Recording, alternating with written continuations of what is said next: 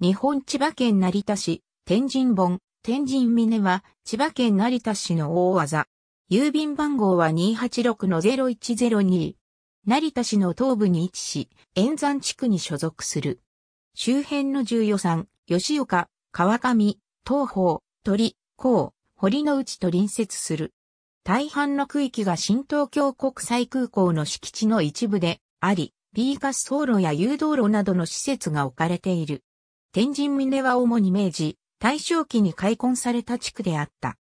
空港建設にあたって三里塚闘争が発生し、空港反対運動の拠点となった地域の一つであり、1971年には日本原野祭が開催された。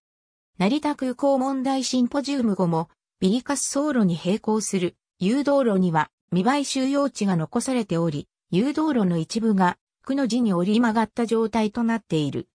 かつては、成田新報の適用対象だった天神本現地闘争本部もあった。